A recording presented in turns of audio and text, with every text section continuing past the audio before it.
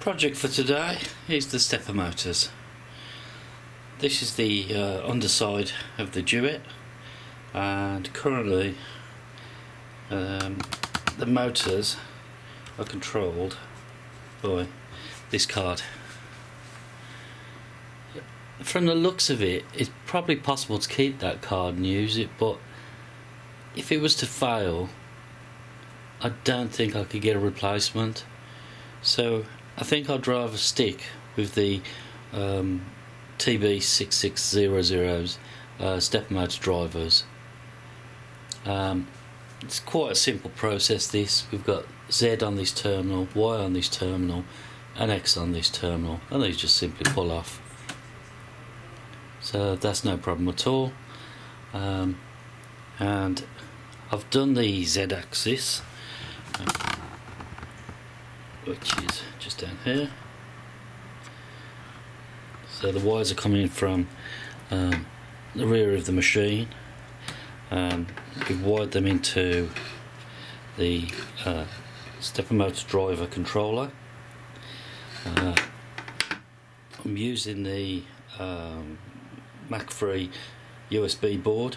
Um, it seems to suit my needs. It interfaces with uh, Mach3 software, no problem at all. Um, and I've done some basic tests, and I've got the um, the Z-axis actually stepping at the moment. Still a lot, a long way to go, and a lot to learn. This is all a learning curve as well for me. So next job now is we're going to remove the connector leads for the Y and the Z axis and wire them the same as we did for the Z axis. All three X, Y and Z motors are now set up. I've opted to run at 12 volts uh, currently as that's what the machine was originally. Um, I could run it at 24 volts but we're going to try 12. Um, I seem to have motion now on all the axes. Um, just a quick show you, or just a quick home on the, uh, the axes.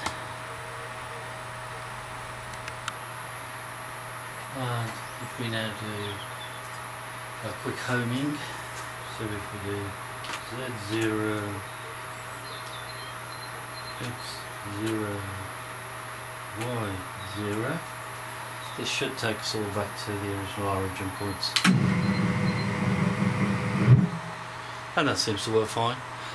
Um, next job I think is now the proximity sensors and I think we'll leave the motor until last. Okay, quick overview of the wiring. We're starting with the CNC breakout board uh, for Mach3. 12 volt power supply, 30 amp rated.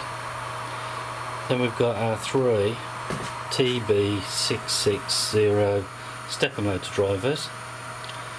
Uh, the leads from the back of the lathe uh, quite nice and long so they've just come straight out. This is all a temporary setup just to test things. These are running a little bit warm but obviously um, they, they will need a heat sink. But everything seems to be uh, well I'm controlling the stepper motors at the moment.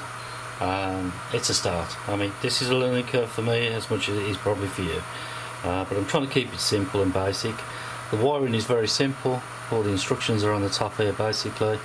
I will give a more detailed explanation of how I've wired this uh, in a diagram. Uh, but as, as, to now, we've got full control of all three axes um, using the Mach3 software. If we use the jog wheel in Mach3 um, you can see the numbers will start to increment.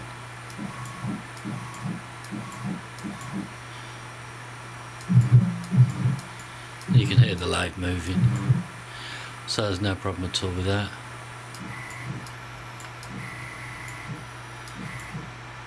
So we've taken those all off. Um, we now type in here Z zero X zero Y zero zero. oh, doesn't help. and we now press return. Show on the lathe